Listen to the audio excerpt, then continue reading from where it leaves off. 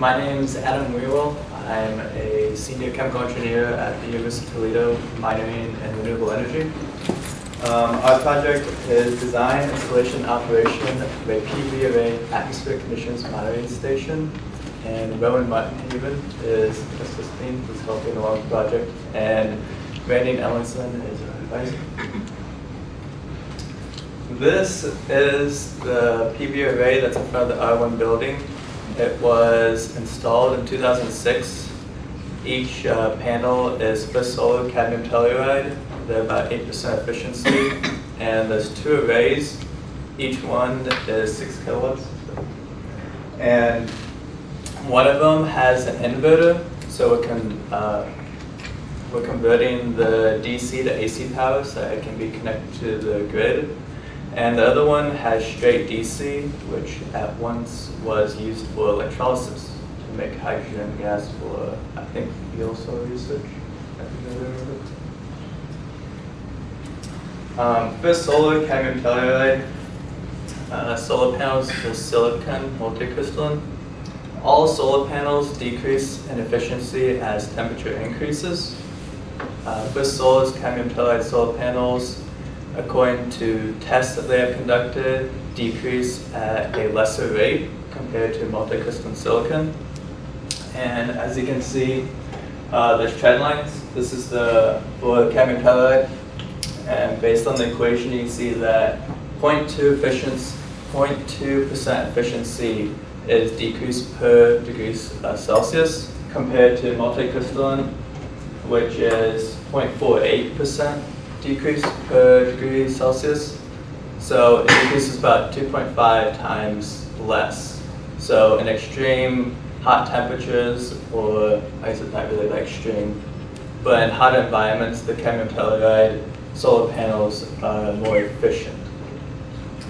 And so our project is to set up a monitoring station where we monitor irradiance, ambient temperature, and the module temperature and we'll take this data and correlate it with the power output. Um, to measure irradiance, we're using a pyranometer, this picture right here, which measures uh, the light at nanometers uh, 300 to 2800 nanometers.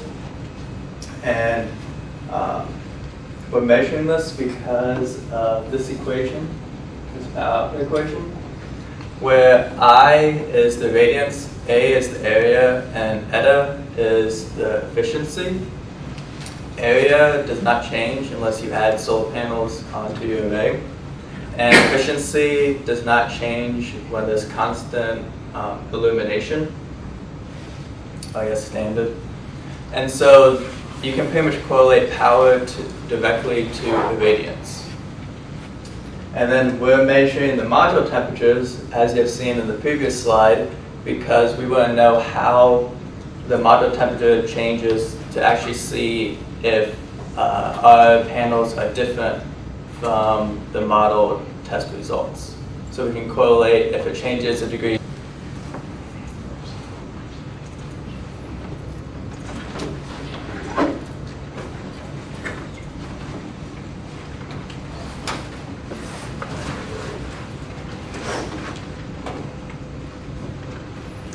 My name is Adam Wierwille. I'm a senior chemical engineer at the University of Toledo, minoring in renewable energy.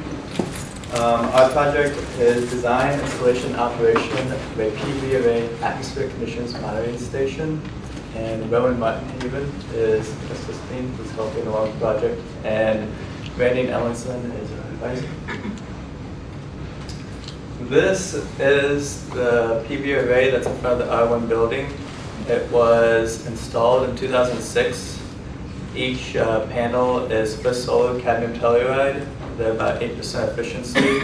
And there's two arrays. Each one is 6 kilowatts.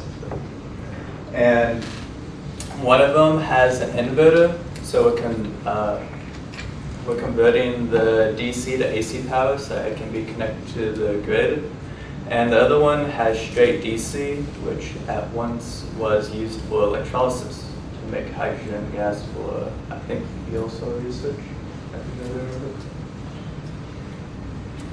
Um, for solar cadmium telluride, uh, solar panels for silicon multicrystalline.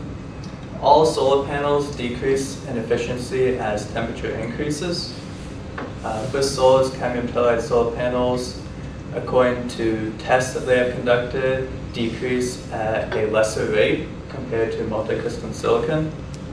And as you can see, uh, there's trend lines. This is the for cadmium telluride. And based on the equation, you can see that 0.2 efficiency, 0.2% efficiency is decreased per degrees uh, Celsius compared to multicrystalline, which is 0.48% decrease per degree Celsius. So it decreases about 2.5 times less. So in extreme hot temperatures, or I guess it's not really that extreme, but in hot environments, the cadmium telluride solar panels are more efficient. And so our project is to set up a monitoring station where we monitor irradiance, ambient temperature, and the module temperature. And we'll take this data and correlate it with the power output. Um, to measure irradiance, we're using a pyranometer, this picture right here, which measures uh, the light at nanometers uh, 300 to 2800 nanometers. And um, we're measuring this because of this equation, this power equation, where I is the radiance, A is the area, and eta is the efficiency. Area does not change unless you add solar panels onto your array. And efficiency does not change when there's constant um, illumination, I guess standard. And so you can pretty much correlate power to, directly to irradiance. And then we're measuring the module temperatures, as you've seen in the previous slide, because we want to know how the module temperature changes to actually see if uh, our panels are different from the model test results. So we can correlate if it changes a degree C, does it drop in a certain amount of efficiency with the powder.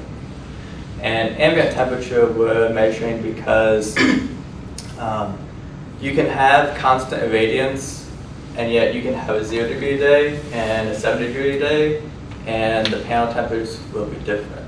So that also correlates into um, to uh, I guess, measure these sensors and to collect the data, we're using National Instruments DAQ, or Data Acquisition Unit. And the software we're using that is called LabVIEW. And so we are um, making uh, programs right now in order to capture that data, process the data, and save the data. And this is an example of one of our LabVIEW programs. And our ultimate goal is to get this to the public. Um, here's an example of the McMaster array, as some of you have seen the solar panel up front, uh, I guess this direction. Um, this is uh, a snapshot from it, but I wanted to show you, this is the link to this array. And so this is actually real-time data of the array out front. So right now, it's showing that it's made about almost 100 watts from noon to 1, which obviously it's not done yet. So it'll just keep going. And five minutes you can refresh and it's new date. And that's our presentation. For stuff.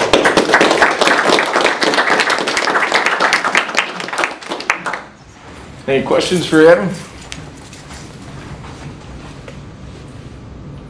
Good. Uh, I, I think I missed the there are two arrays, one, one's hooked up to an inverter and one is a DC array. Yes. Um, And was it, was it the DC array that you're doing this monitoring of? I- I- No, we're monitoring on the one that has the inverter Oh, because we want to know the actual power output so that way we can, um, I guess it's more impactful for anyone who wants to use the data because then either companies or residential can use the data to help monitor their own systems. So that way they can, say they have like a six kilowatt away, array, they can, based on the weather data of that day, predict what they might actually get that day. So it helps more accurate data for In the chamber you're creating, so you're, you're measuring the ambient temperature, module temperature, and the irradiance.